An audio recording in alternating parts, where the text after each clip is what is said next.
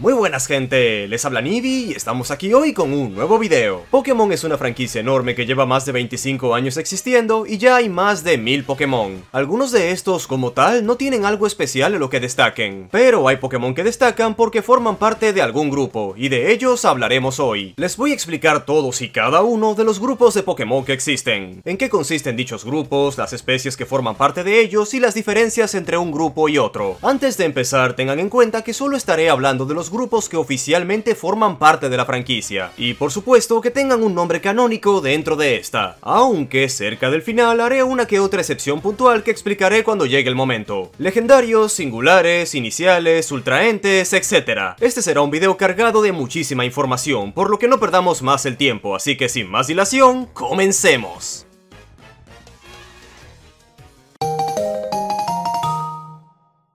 Como no podía ser de otra forma, vamos a comenzar con los Pokémon iniciales. Este es un trío de Pokémon que se les suele entregar a los entrenadores que recién van a empezar su viaje, aunque en los juegos se les han llegado a dar a varios entrenadores por otras razones, como tener con qué defenderte porque vas a entregar un paquete o porque te inscribiste en una academia. Siempre son de los tipos agua, fuego y planta, porque forman un triángulo de debilidades en donde fuego vence a planta, planta vence a agua y agua vence a fuego. Además de que varían por cada región y siempre pasan por tres etapas. Repasemos los nombres de las primeras etapas a la vez que mostramos sus respectivas evoluciones. En la región Kanto estos son las cadenas evolutivas de Bulbasaur, Charmander y Squirtle. En Yoto tenemos a Chikorita, Cyndaquil y Totodile. Hoenn tiene a Trico, Torchic y Mudkip. Los iniciales de Sinnoh son Tortwig, Chinchar y Piplup. Pasando por Unova, aquí tenemos a Snivy, Tepi y Oshawott. Kalos tiene a Chespin, Fennekin y Froakie. Alola cuenta con Rowlet, Litem y Poplio. En Galar están Grookey, Scorbunny y Sobol. Y finalmente en Paldea tenemos a Sprigatito, Y Quaxly. No estamos contando los iniciales de Hisui porque de ellos hablaremos cuando lleguemos a las formas regionales. Y las primeras etapas no es como que oficialmente sean el trío de iniciales de la región. Simplemente eran los Pokémon que tenía el profesor Laventon disponibles, pero por diseño de nivel fueron tres Pokémon iniciales de otras regiones.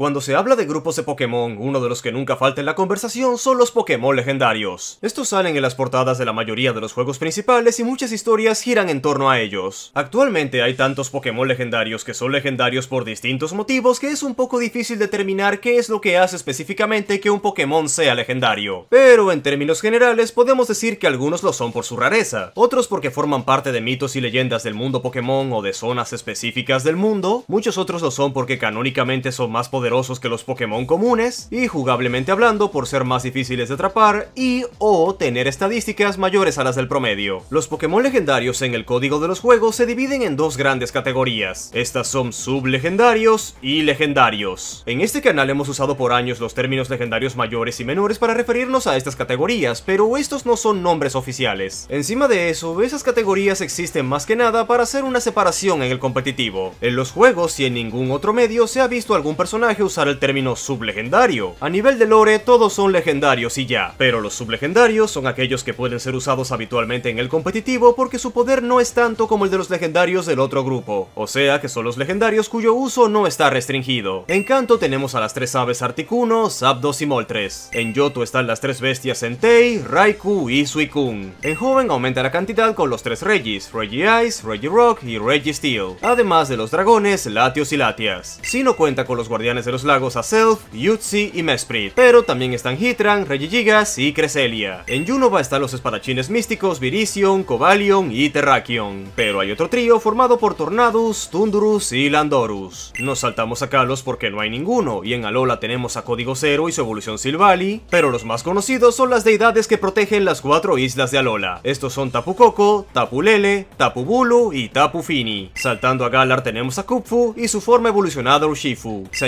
añaden dos Regis nuevos que son Regidrago y Regieleki, y los dos corceles de Calyrex llamados Glastrier y Spectrier. En Hisui se introdujo a Enamorus formando un cuarteto con sus homónimos de Junova, y por último en Paldea están las leyendas funestas. Estos son Ting Lu, Chien Pao, Wo Chien y Chi Yu. No sé si aquí incluir al trío formado por Okidogi, Munkidori y Fesandipiti. Estos Pokémon tendrán un papel relevante en el primer DLC de Escarlata y Púrpura, pero la página oficial no aclara muy bien si son legendarios o no, así que tendremos que esperar. Pasando a los legendarios, en Kanto únicamente está Mewtwo, probablemente el legendario más conocido. En Yoto comenzó la tradición de que formen dúos con Lugia y Ho-Oh. Joven continuó con esa tradición y le sumó la presencia de un tercer legendario, teniendo así a Groudon, Kyogre y Rayquaza. Sino tiene a Dialga, Palkia y Giratina. Unova, Reshiram, Zekrom y Kyurem. Esta vez no nos saltamos a Kalos porque aquí están Cerneas, Beltal y Zygarde, los únicos legendarios de la región. Alola posee a Cosmo y todas sus evoluciones,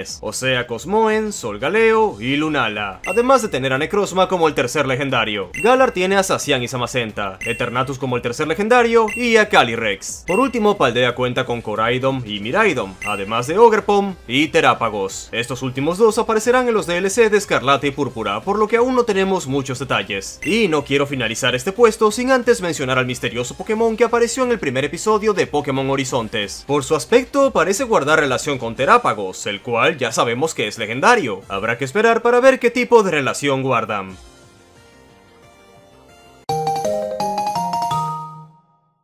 Los Pokémon singulares. A menudo confundidos con los legendarios, son aquellos Pokémon que se consideran tan pero tan raros en el mundo Pokémon que hay personas que dudan sobre si estos existen o no. Esto tiene más sentido si analizamos el nombre en inglés del grupo, que es Mythical Pokémon, que se traduce como Pokémon míticos, y en Japón se les conoce como Pokémon ilusorios. Dentro de los juegos, algo que caracteriza mucho a estos Pokémon es que no se pueden conseguir dentro de una partida normal, salvo casos muy puntuales, solo puedes hacerte con ellos por repartos especiales o eventos que requieren de algún objeto que solo estará disponible por tiempo limitado. Además, los números de la Pokédex de cada región suelen ocupar los últimos puestos, y como muchos de estos solo se consiguen por eventos limitados, estos no son necesarios para completar la Pokédex y que nos entreguen el diploma que lo certifica. El singular de Kanto es Mew. En Yoto está Celebi. Hoenn tiene dos y estos son Deoxys y Hirachi. En Sinnoh la cantidad aumenta considerablemente porque tenemos a Manafi y a su cría Fione, también están Darkrai, Shaimim y el Pokémon Alpha Arceus. Junova posee a Victini, que es el único Pokémon en ocupar el puesto número 0 en su respectiva Pokédex, y al final de esta tenemos a Keldeo, Meloetta y Geneset. Kalos es la única región con la misma cantidad de legendarios que singulares, ya que aquí están Diance, Jupa y Volcarona. Alola cuenta con Magirona, Marshadow y Zeraora. Meltan y Melmetal no son de una región definida ya que vienen de Pokémon GO, y para acabar está Saruden Galar. Paldea de momento no tiene un singular, tocará esperar a ver si a futuro se lo dan.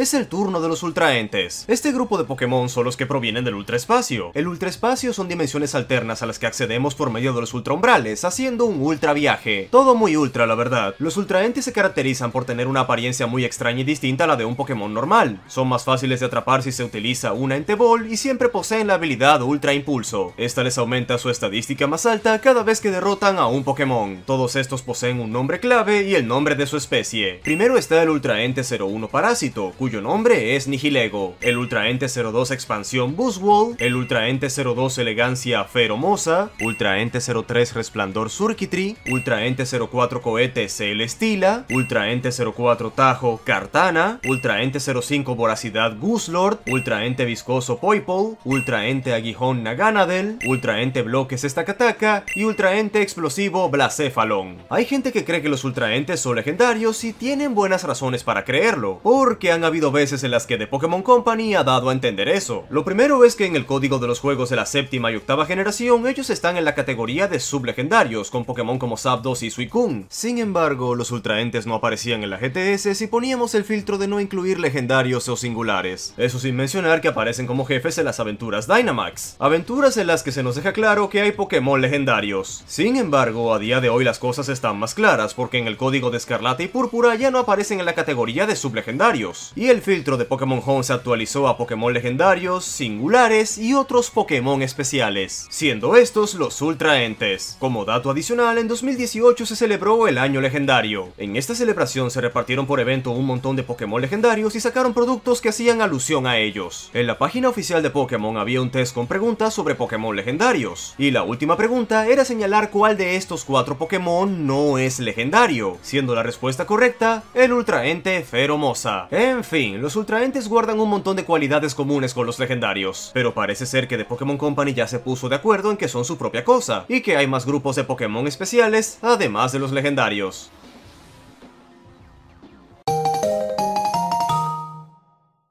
Seguimos en la misma línea de lo dicho anteriormente porque toca hablar de los Pokémon Paradoja. Al igual que los Ultraentes, este es otro grupo de Pokémon especiales pero que no entra en la categoría de legendarios. Estos Pokémon se caracterizan por tener una apariencia primitiva o futurista y guardar un enorme parecido con los Pokémon de nuestra época. Salvo un par de excepciones, los de apariencia primitiva tienen la habilidad paleosíntesis y los de apariencia futurista la habilidad carga quark. En los juegos se nos dice que estos Pokémon fueron traídos al presente por medio de una máquina del tiempo, pero hay información que nos da a entender que esto en realidad no es cierto, y que se tratan de creaciones artificiales hechas en un laboratorio o seres creados por una fuerza mayor como un Pokémon legendario. Por algo se llaman paradoja, o sea, algo que no tiene sentido. Todavía falta que salgan los DLC de Escarlata y Púrpura donde seguramente nos darán más detalles, así que de momento nos quedamos con que son Pokémon de apariencia primitiva o futurista que viven en el área cero. Entre los Pokémon de apariencia primitiva tenemos a Colmilargo, que guarda parecido con Donphan, Colagrito, que se parece a Jigglypuff, Melena Aleteo, cuya apariencia es similar a la de Misdreavus, Reptalada, que es muy similar a Volcarona, Furioseta, que recuerda mucho a Mungus, Pelarena, que se parece a Magneton, Bramaluna, que es casi idéntico a Salamence, Ondulagua, que se parece a Suicune, y Coraidon, también conocido como Rey Alado, que es similar a Cyclizar. Pasando los Pokémon Paradoja con apariencia futurista, comenzamos con Ferro Dada, que se parece a Donphan, Ferro Polilla, que es similar a Volcarona, Ferro Palmas, que es similar a Hariyama, Ferro Cuello, que se parece a Hydreigon, Ferro Púas, que guarda similitud con Tiranitar, Ferro Saco, que es parecido a Delibird, Ferro Paladín, que recuerda tanto a Gardevoir como a Gallade, Ferro Verdor, que se parece a Virizion, y Miraidon, también conocido como Ferro Mandra, que se parece a Cyclizar. En cuanto a categorías oficiales, Coraidon y Miraidon son legendarios, pero en cuanto a lore, además de legendarios, también son paradoja.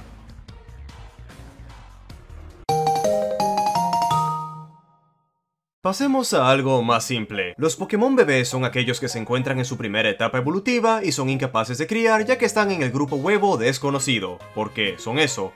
Bebés que no se han desarrollado. Es importante aclarar que no todo Pokémon que está en su primera etapa es parte de este grupo. Por ejemplo, Sprigatito es un Pokémon de primera etapa que pertenece a los grupos huevo, campo y planta, y por ende puede tener crías. Pero los Pokémon que están en este grupo al ser del grupo huevo desconocido no dejarán crías por más que lo intentes. Estos Pokémon se introdujeron en Yoto, donde tenemos a Pichu y Togepi, siendo el primero la preevolución de la mascota de la franquicia y el otro fue uno de los primeros Pokémon adelantados de Yoto por el anime. Siguen Clefa e Igglybuff, preevoluciones de Clefairy y Jigglypuff que se caracterizan por evolucionar con una piedra lunar, Tyro que puede optar por tres posibles evoluciones según sus estadísticas, y Smoochum, Elekid y Magby, preevoluciones de Jeans, Electabuzz y Magmar, Pokémon que resaltaron en la primera generación por aprender los puños elementales. En Hoenn tuvimos a Azuril y Wynaut, siendo los únicos Pokémon de esta región en tener una relación evolutiva con Pokémon de una generación pasada. En Sinnoh se introdujeron muchos más. Están Badoo y Chingling como preevoluciones de Pokémon de Hoenn que además evolucionan por amistad de día y de noche respectivamente. Bonsly y Man Jr. quienes evolucionan subiéndoles un nivel mientras conozcan el movimiento mimético, Happiny y Munchlax como preevoluciones de Chansey y Snorlax, Riolu que evoluciona en Lucario, y Mantike que evoluciona en Mantine si llevamos un Remoraid en el equipo y le subimos un nivel. De Sinnoh saltamos a Galar donde se introdujo a Toxel, que evoluciona en una forma u otra de Toxtricity según su naturaleza.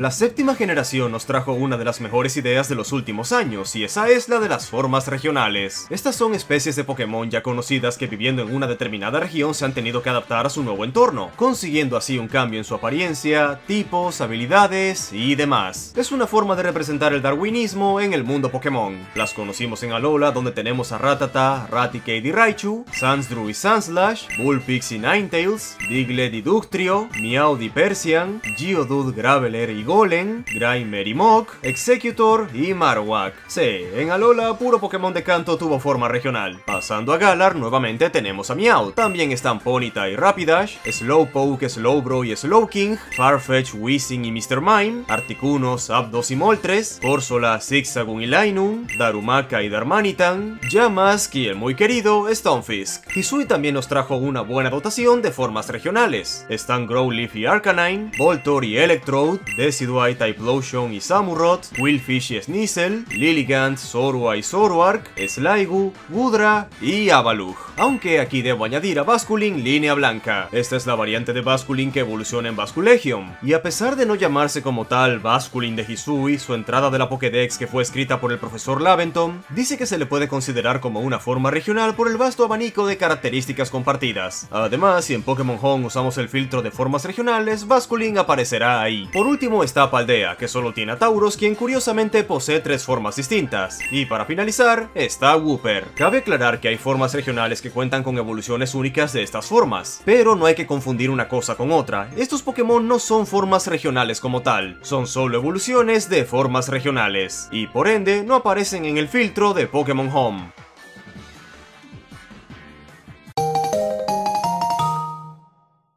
Los fósiles son esos Pokémon que en la actualidad se supone que están extintos, pero por medio de los avances tecnológicos pueden ser traídos de regreso al presente siempre y cuando tengamos el fósil de la respectiva especie. Antes de la octava generación, una característica que tenían en común los fósiles es que siempre eran de tipo roca, esto en referencia a que fueron restaurados a partir de rocas. En canto, los fósiles son Omanite y Omastar, Kabuto y Kabutops, y el muy conocido Aerodactyl. Yoto no tiene fósiles por lo que nos vamos a Hoenn. Aquí están Lilip, Cradily, Anorit y Armaldo. Encino está Cránidos que evoluciona en Rampardos, y Sheldon que evoluciona en Bastiodon. Junova tiene a Tirtouga, Carracosta, Archem y Archeops. Pasando a Kalos están Amaura y Aurorus junto con Tyrant y Tyrantrum. Alola no cuenta con fósiles por lo que pasamos a las quimeras de Galar. Estas son Dracovish, Dracozolt, Artovish y Arctozolt.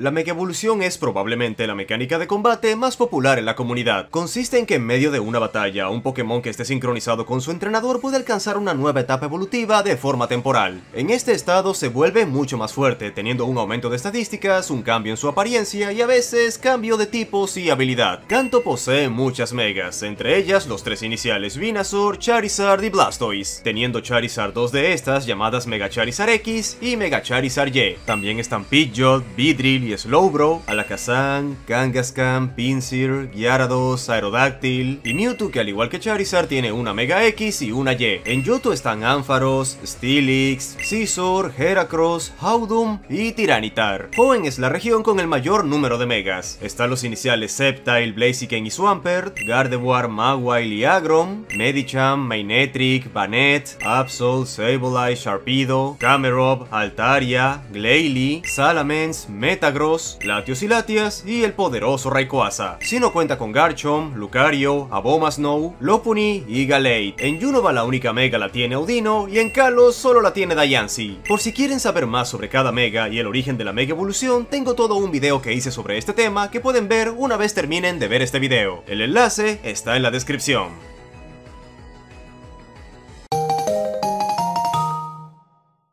El Gigamax es una mecánica de combate más o menos parecida a la Mega Evolución. Casi cualquier Pokémon puede Dynamaxizarse, no cambiando su apariencia, pero las formas Gigamax son distintas. Si un Pokémon cuenta con factor Gigamax al estar bajo los efectos de las partículas Galar, además del aumento de tamaño, cambiará su apariencia. Y además tendrá un movimiento único de esta forma. En canto los iniciales están nuevamente presentes, cada uno con su respectiva forma. A esto se le suman Pikachu, Eevee y Meow, siendo los únicos Pokémon con factor Gigamax que no están completamente evolucionados.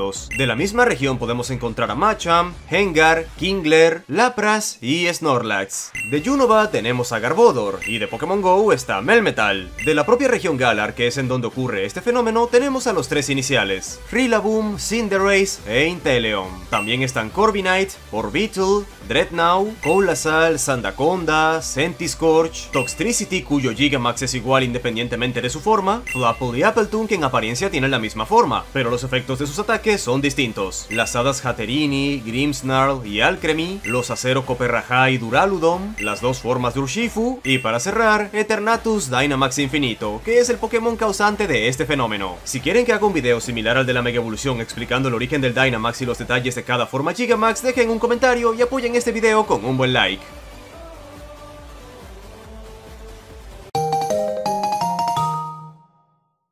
De los Pokémon Shiny hemos hablado muchas veces en este canal. Básicamente son Pokémon que presentan colores distintos a los habituales de su especie, y se les considera bastante raros. Absolutamente todo Pokémon tiene su respectivo Shiny. Nombrarlas a todas sería básicamente nombrar a cada Pokémon que existe, así que mejor pasemos al siguiente grupo.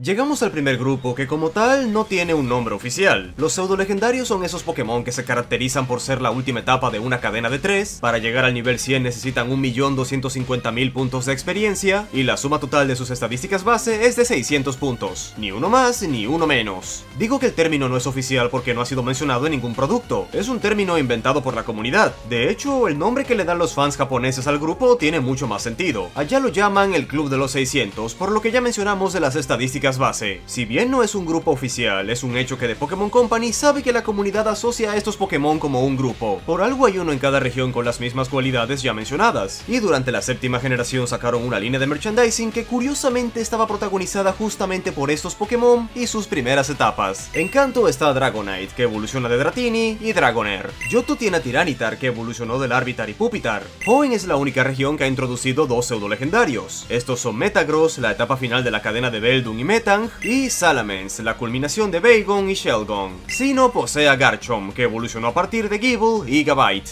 Junuba cuenta con Hydreigon, el Pokémon que más nivel necesita para evolucionar, y viene de Dino y Svailus. En Kalos tenemos a Gudra, el único Pokémon de este grupo en mantener un único tipo, y es la evolución final de la cadena de Gumi y Sliggoo. Alola tiene a Como, evolución de Yangmo y Hakamo. En Galar está Dragapult, que viene de Drippy y Dracloak. Por último en Paldea tenemos a Bascalibur, que evoluciona de Frigivax y Artivax.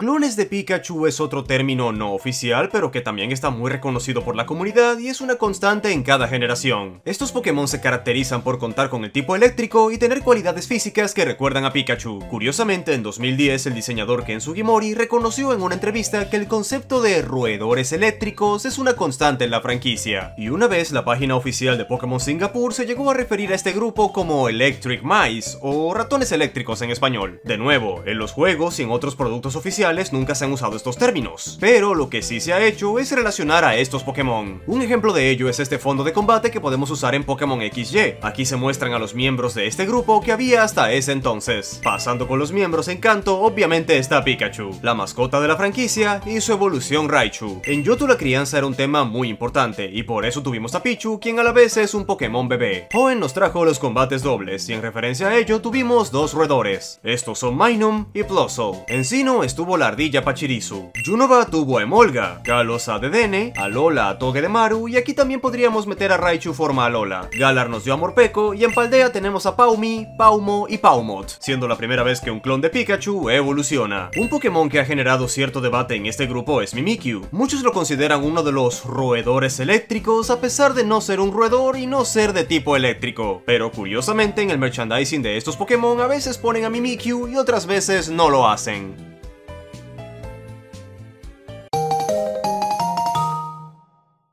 Las formas convergentes son otro grupo que de momento no tiene nombre oficial. Este es el nombre que usan los fans para referirse a aquellos Pokémon que aparentemente hacen alusión a la evolución convergente, especies nuevas pero que guardan un enorme parecido con otras ya conocidas. Hasta la fecha las únicas que conocemos son Wiglet y Wugtrio, quienes guardan parecido con Diglett y Dugtrio, y Toxcool y Toxcruel, que se parecen a Tentacool y Tentacruel. Si esta idea se sigue desarrollando a futuro, es probable que al igual que con las formas regionales, las formas convergentes tengan un nombre oficial. Y claro, su respectivo filtro en Pokémon Home.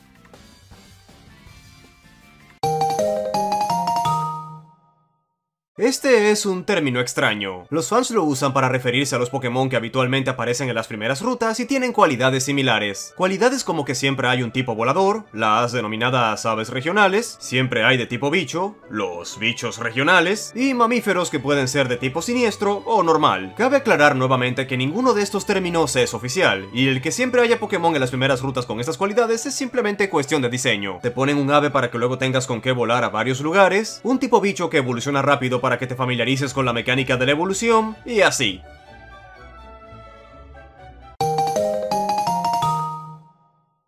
Quiero finalizar este video con un término de los fans que personalmente se me hace muy absurdo, y ese es el de los semi-pseudo legendarios. Solo he visto que se usa este término en la comunidad de habla hispana, no lo he visto en la angloparlante y mucho menos en la japonesa. Supuestamente aquí están los Pokémon que se consideran raros y que tienen una suma de estadísticas cercanas a las de un pseudo legendario, pero lo cierto es que nada de eso tiene sentido. Meten a Pokémon como Lucario y Zoroark, que solo fueron raros en la región en la que debutaron y sus estadísticas no están ni cerca de los 600. También ponen a Flygon, Kindra y Haxorus solo porque son dragones cool que pasan por tres etapas. Por alguna razón también ponen a Agron cuando este incluso en joven, al igual que Flygon, ya era un Pokémon común. A Volcarona solo porque en el lore fue un Pokémon que en el pasado se le rindió culto. A Greninja Ash solo porque es Greninja Ash a pesar de que es solamente un inicial. Y así podría seguir un buen rato explicando el por qué esto no tiene sentido. Volvapedia es uno de los portales de información de Pokémon más confiables. Ellos tienen un artículo sobre los pseudo legendarios y explican las cualidades que tienen en común, dejando claro desde el inicio que es un término inventado por fans, además de tener un excelente artículo con todos los términos que se ha inventado la comunidad y que suelen usar. Y ni aquí ni en otros sitios como Wikidex o Cerebi se ha hecho mención de los semi-pseudo legendarios porque es una categoría absurda carente de sentido. Siento que esta categoría solo se la inventó alguien para tratar de hacer especiales a Pokémon que le parecen cool pero que no pertenecen a un grupo como tal, y varios simplemente comenzaron a seguirle el juego. Si alguien te dice que esta categoría existe y que es oficial, entonces esa persona o está muy mal informada o no tiene la menor idea de lo que está hablando. Y bueno gente, eso ha sido todo por hoy. Este terminó siendo un video mucho más largo de lo que creí que sería en un inicio, pero espero que les haya gustado y que esta información les haya sido útil ya sea para aprender cosas nuevas sobre la franquicia o aclarar varias dudas. Pero de momento no tengo nada más que añadir, solo que yo fui Nibi y nos vemos hasta la próxima. ¡Chao!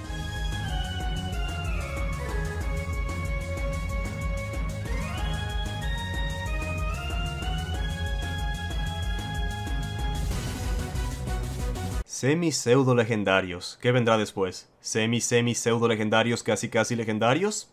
¿Papas fritas con lazos?